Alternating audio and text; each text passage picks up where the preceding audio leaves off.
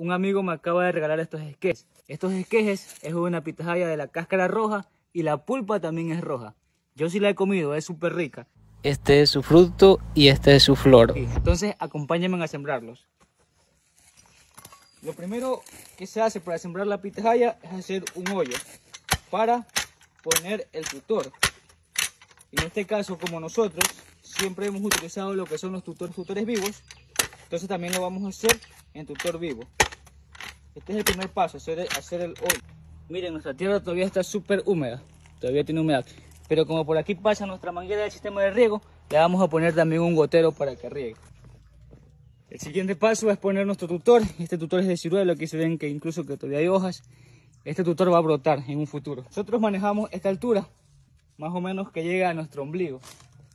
Porque la pitahaya va creciendo en un futuro, va creciendo. Cuando esta pitahaya crezca, se nos facilita la labor de cosecha, de la aplicación con la bomba y también el tema de podas. Entonces, aporreamos bien aporreado nuestro tutor. Este cultivo de pitahaya todo está sembrado en tutores vivos. Esto es para las personas que no, están, que no tienen recursos económicos, están escasos de recursos económicos, lo pueden hacer de esta forma, con tutores vivos. El tiempo de duración de este cultivo de pitahaya con estos tutores puede ser hasta 40 años. Siempre hay que mantenerlo así como tenemos nuestro cultivo. Enfoque papá. Nuestro cultivo pudado, que no que no que la que el tutor no se le suba al cultivo de pitahaya. Miren, aquí se pueden ver las hojas, pero están en la parte de abajo siempre tiene que dominar el tema del cultivo de pitahaya. Entonces, el siguiente paso, aquí tenemos nuestro esqueje, este esqueje que me regalaron. Si se observan el de acá es totalmente diferente.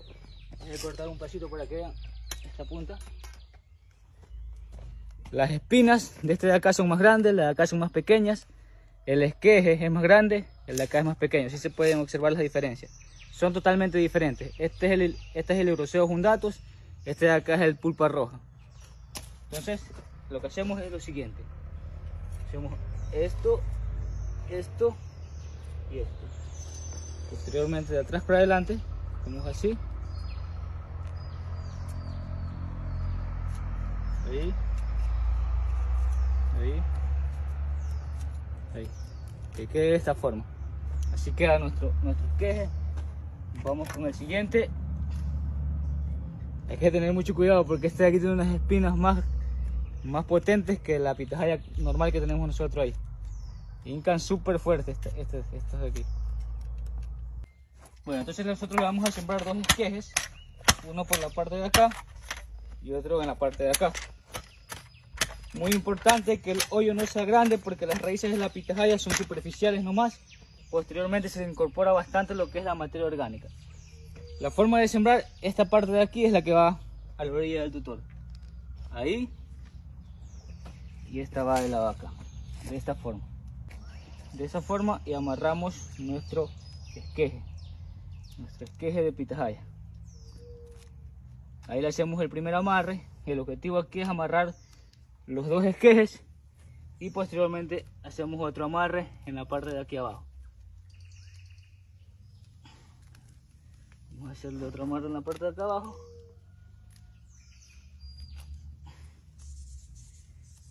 El siguiente paso, aquí tenemos una mezcla de enraizante con fungicida, con el objetivo de que no se, no se, no se nos vaya a pudrir nuestro esqueje. Y nosotros hicimos en todo este cultivo el mismo proceso. Entonces ahí sí ya enterramos, enterramos nuestro esqueje de esta forma y está listo nuestra, nuestra siembra de pitahaya. El siguiente paso, con este clavo y esta martilla, clavamos este, este clavo aquí.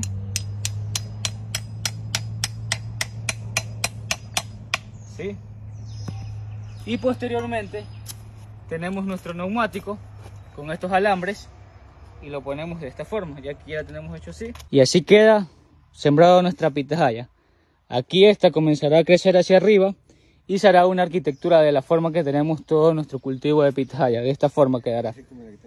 Acá tenemos ya una que sembramos días antes, esta es nomás la Hiloroseo jundatus, también la tenemos aquí, la tenemos sembrada de la misma forma, ya en ocho meses comenzará a producir frutos. Entonces, ahí tenemos ya sembrado nuestra pitaya, que en ocho meses nos dará fruto. Estoy muy agradecido con mi amigo de Rocafuerte que me regaló este esqueje de pitahaya. Ya aquí en ocho meses tendremos producción y van a conocer esta pitahaya pulpa roja. Hoy estamos aquí sembrando esta nueva variedad y estoy seguro que con el amor que le estamos poniendo a esta plantita, muy pronto tenemos muy un buen producto. Y aquí le vamos a poner también un gotero para que esta pitahaya esté también con el tema del riego. Entonces, así hemos sembrado todo nuestro cultivo y nos ha dado hasta ahora, nos ha dado excelentes resultados en el tema de, de producción, de frutos, nos ha dado buenos resultados. Entonces nos despedimos desde aquí el cantón Olmedo Manaví Ecuador. Nosotros lo sembramos de esta forma amigos porque así en ramas, esquejes, dura 8 meses en producir la pitahaya. Si la sembramos en semillas puede tardar hasta 5 años en producir. Entonces esta es la mejor forma. Saludos. Muchos nos preguntan cómo es que se siembra la pitahaya. Unos dicen yo no tengo ni idea. Otros dicen será por semilla, será por esqueje.